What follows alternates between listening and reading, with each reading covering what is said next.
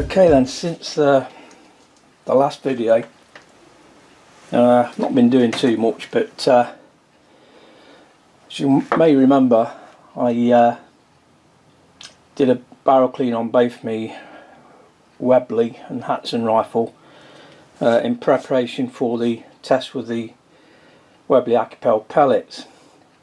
Well, the actual pull through that I use, I've, I've made it myself and it's pretty easy for anybody to make. It's actually made out of uh, some strimmer line.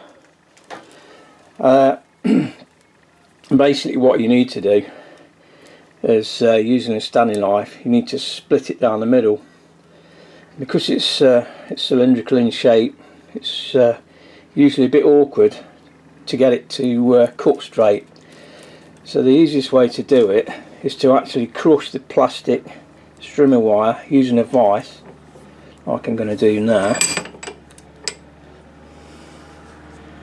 And this then allows you to do an easier cut on it. So just give a damn good squeeze on the on the uh, vise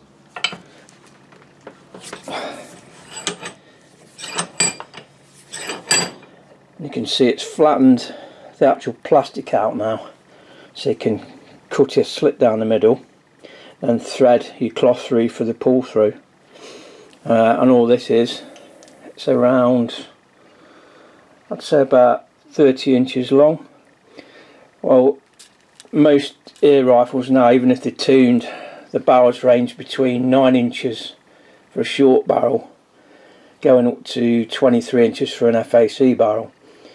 So uh, as long as you've got enough strimmer line just thread through get hold of them pull it through. You don't need more than 30 inches of uh, strimmer line. So uh, basically that's uh, that's how I did the actual pull through.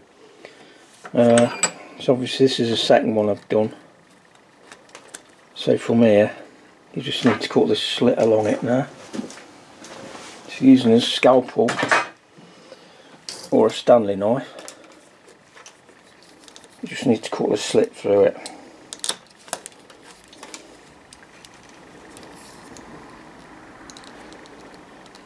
Well, they are they are quite tough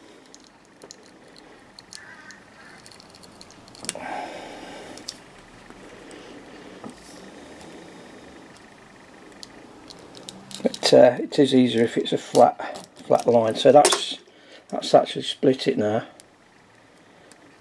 And you just put your pull through through that. Just needs to be a bit longer. There we go.